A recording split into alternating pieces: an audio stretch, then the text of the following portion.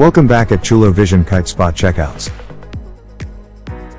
Subscribe now. Click the bell and get notified as soon the next Chulo Vision Kite Spot Checkout will be available. Hello everybody, welcome back at Chulo Vision.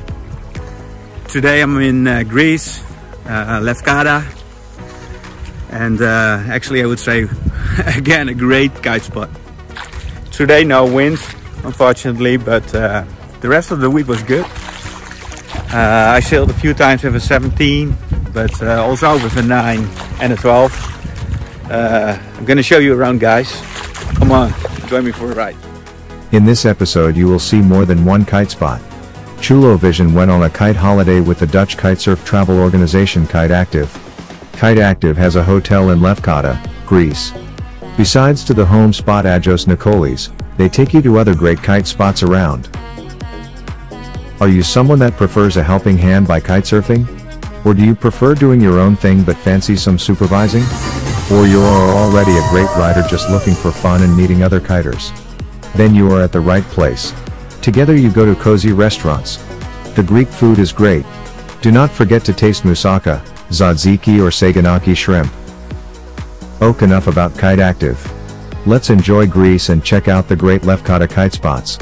Do you fly with me to beautiful sunny beaches? Just buckle up and stay tuned.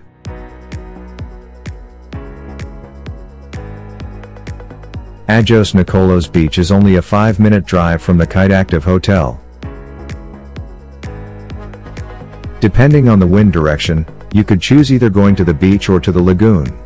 During the summer months the thermic onshore wind usually starts to pick up around 3 o'clock in the afternoon.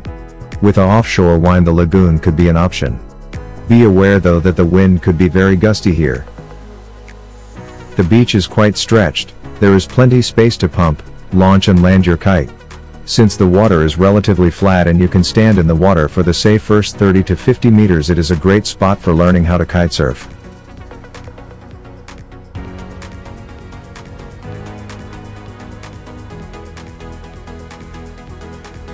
If it might go wrong there is a lifeboat. So relax and just give it a try. Look at this, can you imagine you are riding here yourself in your swimsuit? The water has very pleasant temperature and the sun is shining whole day. At the end of your session you can take a refreshing drink in the loungy beach bar. Now we come to the conclusion for Agios Nikolaos Beach.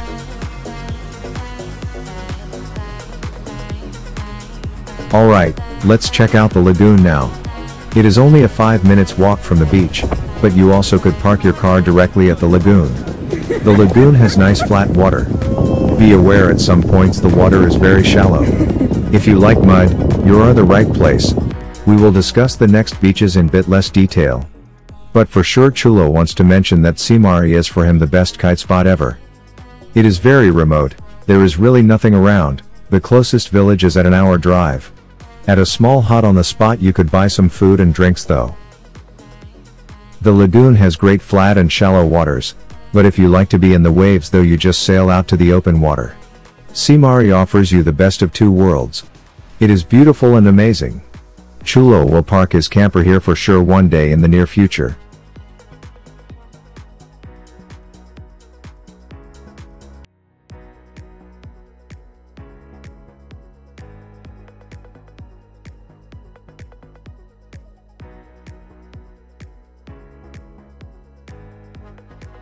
Now we are driving to one of Greece's most famous spots Drepano.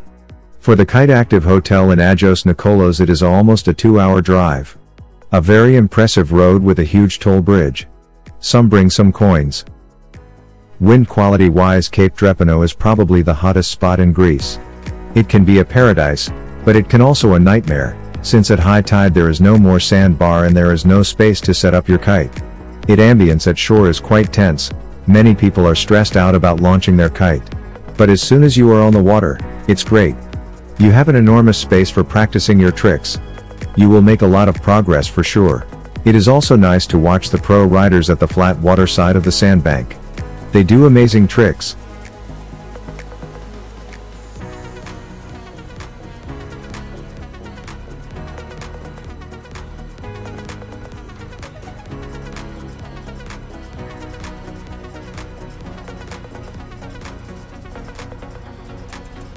Milos Beach is very close to Lefka city. It is the best place to bring your family, that could hang out in the nice restaurant. There is a small kite and repair shop, very handy in case you need some gear. There is also a kitesurf school and rental unfortunately I did not kite a Milos Beach myself and therefore do not have footage. The water is Caribbean blue. Be careful with the reef though. Locals will inform you on the spot.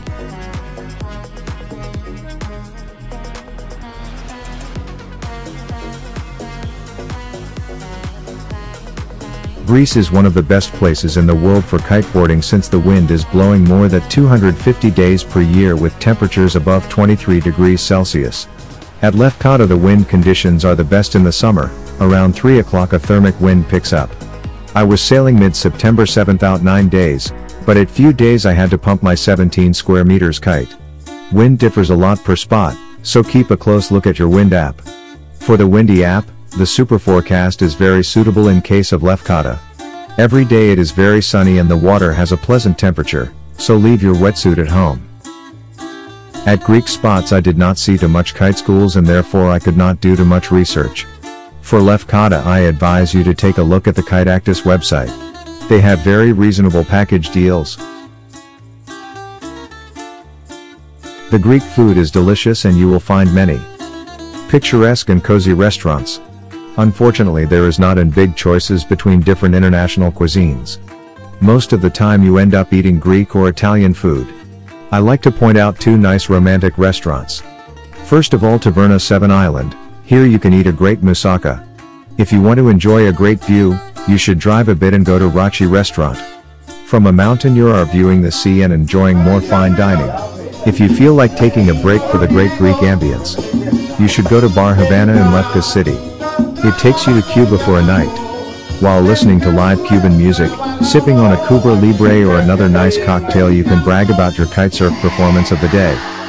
If you are in the mood for a real party, you should go to the city Bonitsa. Over here you will find a great outdoor nightclub or a Paradiso Plus.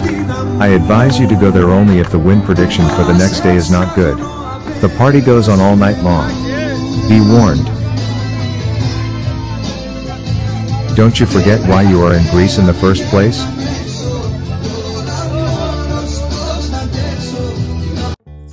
It takes you 27 hours to get from Holland to Greece.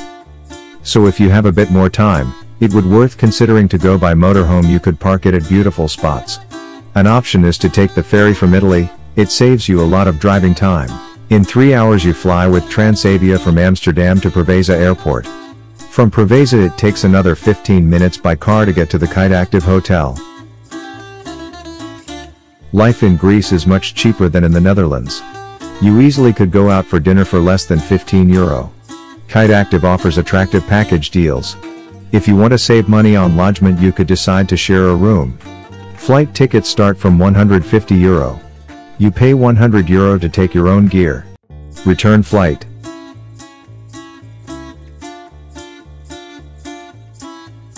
And now the final verdict for Kitespot Lefkada.